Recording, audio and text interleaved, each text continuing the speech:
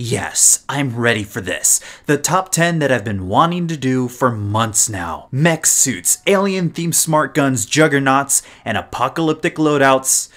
This is going to be fun. Big shoutouts go to everyone who spanked that like button on the first portion of this episode. In that episode, we went over 10 other loadouts, like this one, this one, and even this one. I also showed off dozens of other loadouts from people all around the world, and today we'll be doing all that over again in this rendition of the Airsoft Top Series. I am pretty excited about this, so let's just jump into the second part of the top 20 unique Airsoft loadouts. First off though, I'd like to thank the Airsoft Heretics page on Facebook for their big support for this episode, where most of these loadouts were submitted like this modern Mandalorian kit with custom built helmet and vest by Daniel, or this awesome kit I'm surprised I haven't seen yet by Ignis. I hope you Team Fortress 2 players like the Scout loadout because it's Ignis's favorite game, so he just had to put this together. He made the headset himself, and the shotgun is a nice and simple CYMA M3 using Tokyo Marui shells with an atomizer baseball bat. Yep, I like this,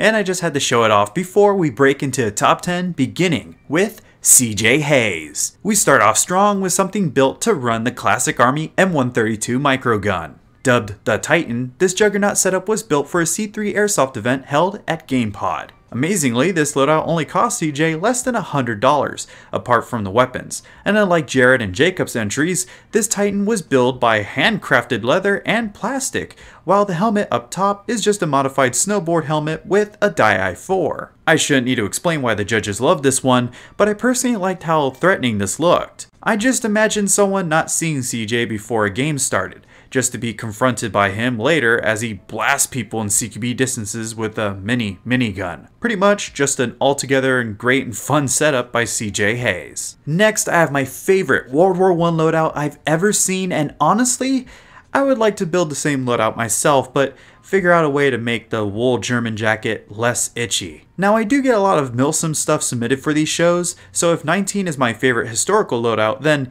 Ethan's amazing loadout is my favorite modern one made of a Fort Caviar RSP with a visor and a Fort Fortress Mod K frag suit, which has to be heavy, and an LCT PP19 with probably a lot more in the parts department. Ethan's loadout was my favorite modern day kit that was turned in, but this is Thomas's World War I German kit. When I asked why he thought this loadout was special, I was happy to see Thomas's response, and he's very passionate about this build. I think what's special about my kit is that not many people do these kinds of historical loadouts. Modern kits are just easy to put together compared to something like my World War I German kit although the build cost of a historical loadout may be around the same as a modern one, depending on where you get your equipment from. It's finding a suitable gun and to put it all together that makes it a bit more challenging. M4s, AKs, VSRs, etc. are always being made and upgraded on the market, so finding parts and pieces for them is easy. However, vintage guns, especially World War I guns, are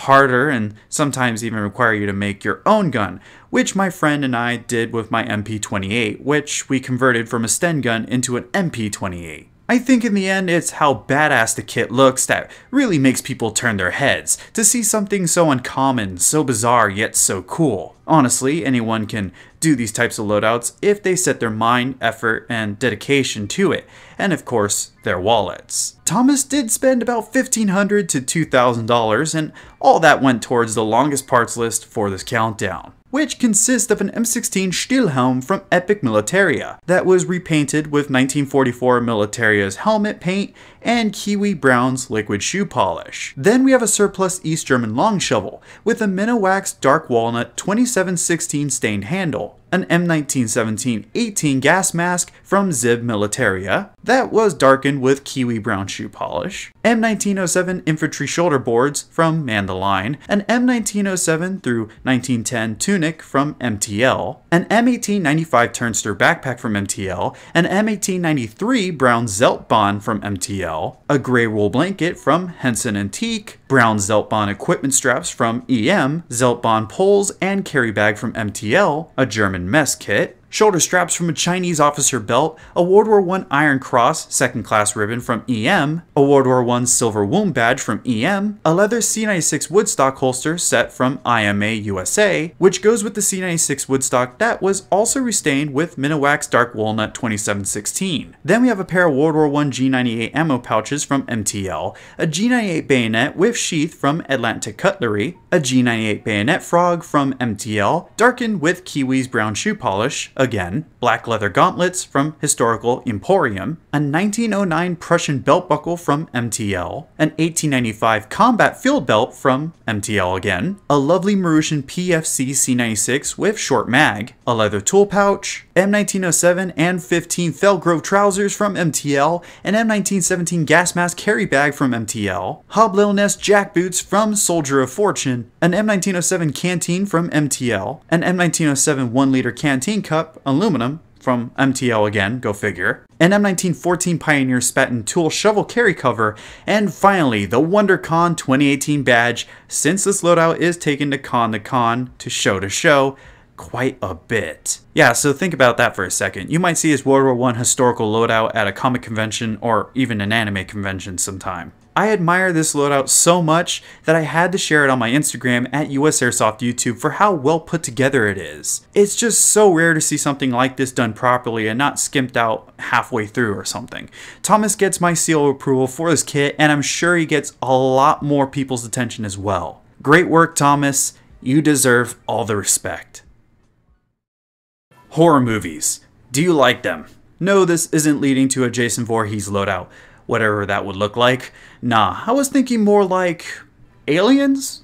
Or is that a thriller movie? Oh yeah, we're going there. This is Luke with his fully functional M56 smart gun loadout. From Pittsburgh, Pennsylvania, this M56 smart gun loadout from the film Aliens is valued at about $1,500. And it took about 5 months to put the bulk of this all together, with pieces, namely more movie accurate components of the loadout being added periodically. Luke said that he believes this loadout is special as it's one of very, very, very few that exist in the world, being a full-size, full-metal, fully functional airsoft replica of the smart gun from Aliens and I agree with him. It is capable of firing from both the rear lever as well as the red switch on the forward grip control, the same way the real one is supposed to fire. Both of these controls also simultaneously wind the 2500 round drum magazine. The forward grip control also houses a built-in safety, as well as power switch to engage the green laser to assist in aiming. It has a functioning ammo counter that counts up from zero, then resets when a new drum is placed in the gun. The replica is powered by an 11.1 volt LiPo battery, disguised as our take on the battery used to power the smart gun in the film. The entire build is metal, weighing in roughly at about 40 pounds. It is supported though by a gimbal on the left side of the gun that mounts onto a support arm connected to the camera stabilizer rig. The shoulder lamp is 2500 lumens and completely kit bashed, using electrical fittings and custom components to make it very similar to the one used in the film. The headset though is purely cosmetic, mostly just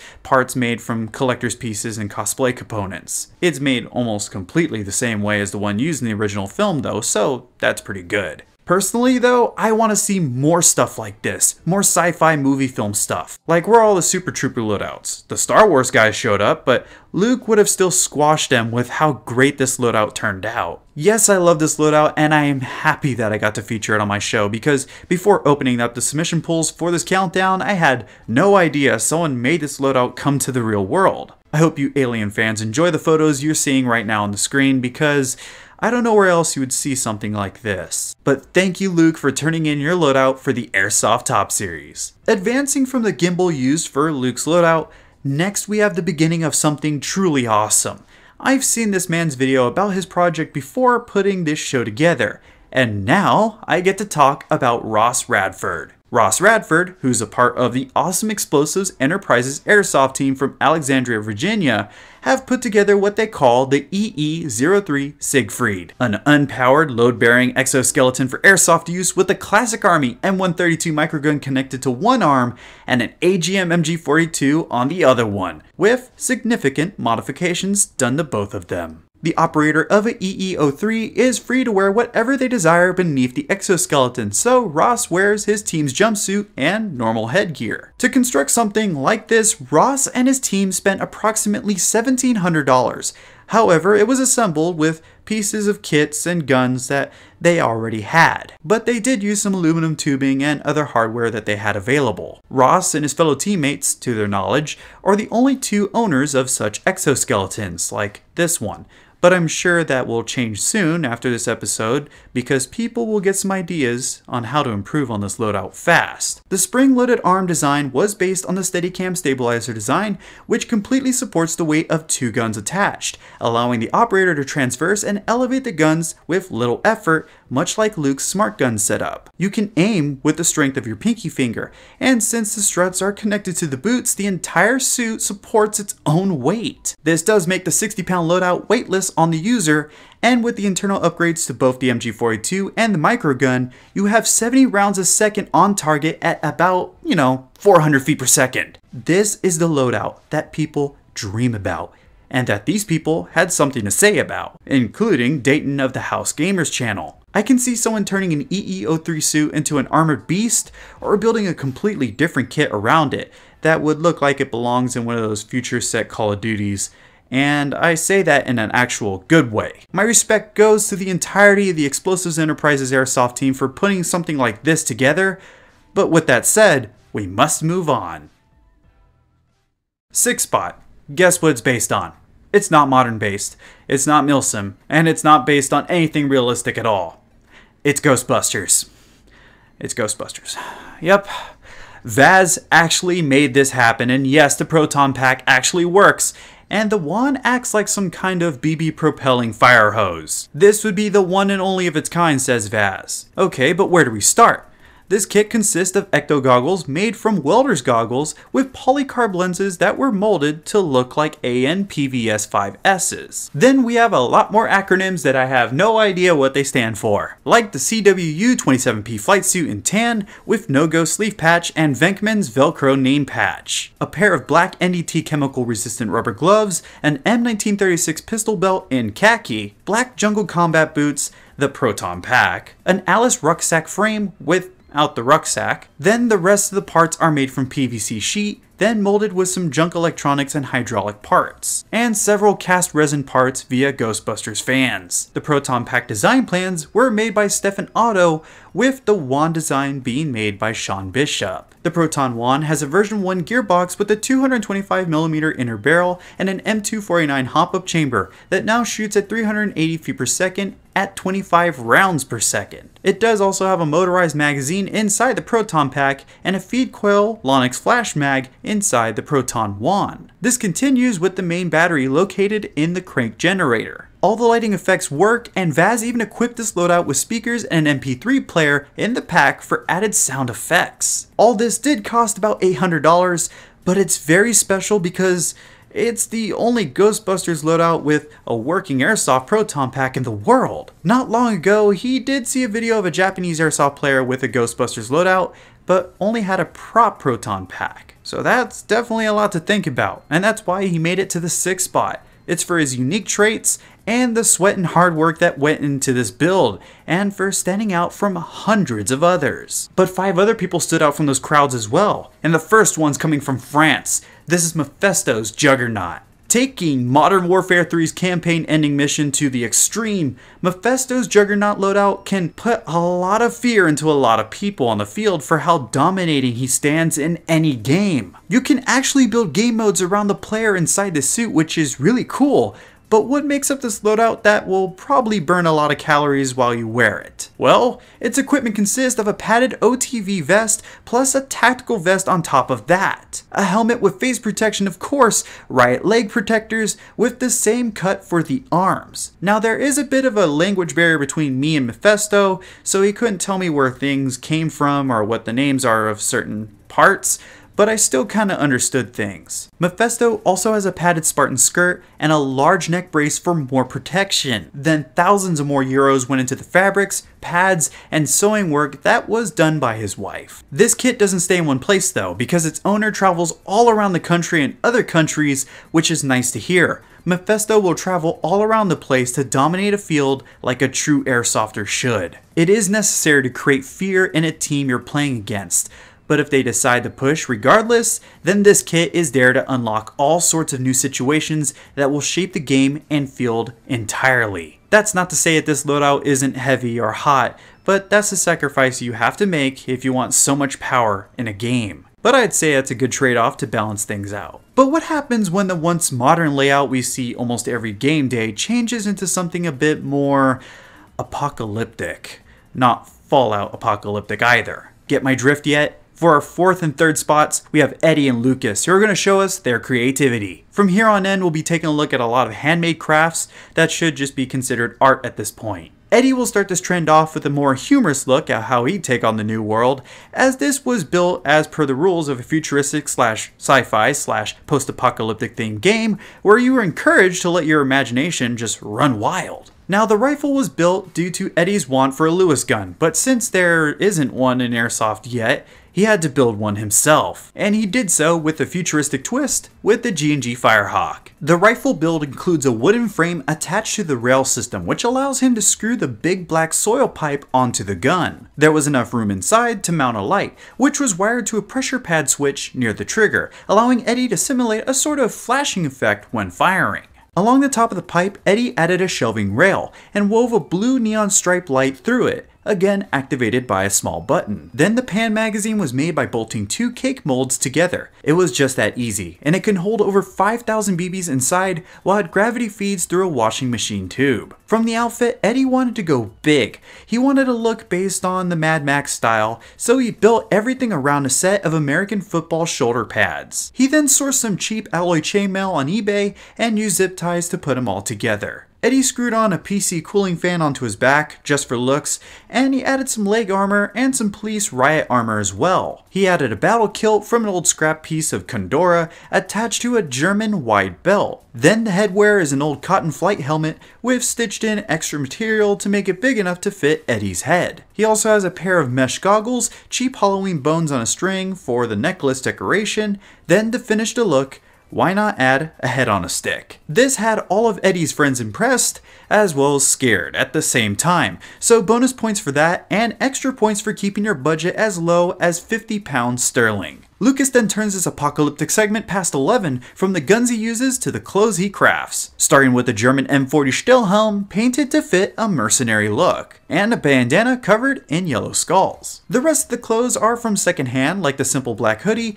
and camouflage cargo pants that Lucas cut in two before sewing them onto the arms of the hoodie. Below you would find some common camo pattern cargo pants with some typical black high punk boots to cap off the first layer. The rig is made of a camel pack as a foundation with a German World War II gas mask canister. Under that, a military style bag from secondhand, and under that is a Russian gas mask filter just stacked on top of it all. This is then reinforced with straps from military belts Lucas has gathered over the years, like the Russian AK pouches he has. As for Lucas's goggles, he bought several different styles from eBay and fitted safe polycarbonate to be able to use them in any airsoft game. Then for weaponry, Lucas made sure that nothing used with this kit could be normal. From the PPSH to the WEAKs and M14, everything has been upgraded properly and worn torn with RA Tech parts inside, paints, burns, agings, and so much more. Just looking at what this builder has done makes everything I own look so basic and I'm not the kind of airsofter that just stacks M4 rifles in his collection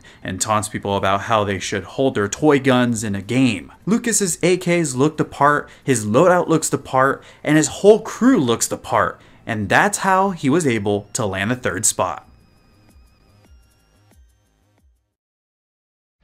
This episode took much longer than I thought it would have when I first began it months ago. Over that time, hundreds of people have submitted, emails have poured in, the first part broke over a thousand likes, and it still gets shared all over my Facebook. But hopefully, these next two builds make it all worth it as if none of the other loadouts that we've seen already have been worth it. They've all been great, and I wish I could have just added more and more into this rendition. But if you like this episode thus far, then be sure to spank that like button like some tempting booty. Next up will be a fan special where anyone can submit any gun build to go up against many other builders who want their builds to be ranked. So keep an eye out for the polls on my Instagram and on the US Airsoft Facebook page that will be linked in the description down below. However, we have two more loadouts to go over, so let's check out Dana, who has been waiting so long for people to see what he's crafted. I teased this loadout in part 1, and some people thought it was pretty interesting right away. So let's dig into this. Built using Dana's experience as a cosplayer, he made almost everything himself. The exterior clothing was sewn by Dana, save for the boots, gloves, balaclava, backpack, and chest rig. The helmet and arm braces were all built by Dana, and he even made a katana. This is a cosplay that has survived lightsaber fencing, airsofting, and even martial arts demonstrations. Dana will normally use a D-Boys Kar 98 and a KJW PT26 with 3D printed plastic throwing stars, which adds even more to this kit. But would you call this an apocalyptic samurai loadout or an apocalyptic ninja? Dana easily has the best photos out of everyone, which really showed off everything we need to be aware of. I love the fact that he made his own katana and that he sewed his own clothes himself, which is not something to be taken lightly, and using this in so many different activities is another plus. Everything just fits well with how it's supposed to look and nothing stands out negatively as if it shouldn't be there. I would advise maybe making the Kar 98 look a little bit more worn in or improvised, but that's all I can say. This was still one of the most popular loadouts in the submission polls, and a loadout that the judges really had to look over multiple times before giving it a rank, since it was a bit of a close race between the top spot and the runner-up. Regardless, I'd like to thank Dana for turning in this stunning, nearly $900 loadout. But now it's time for the top spot, and someone in the comments of part 1 called it.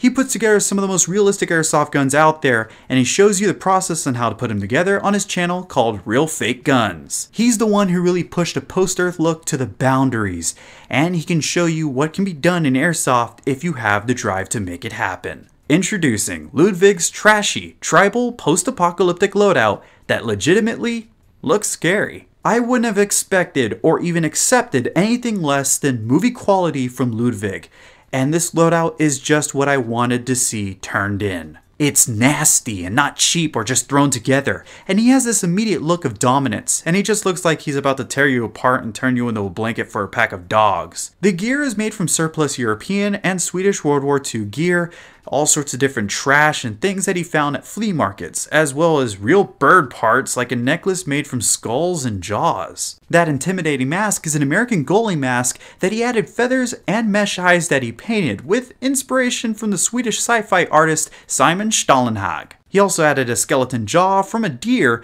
and some paint to weather the whole thing.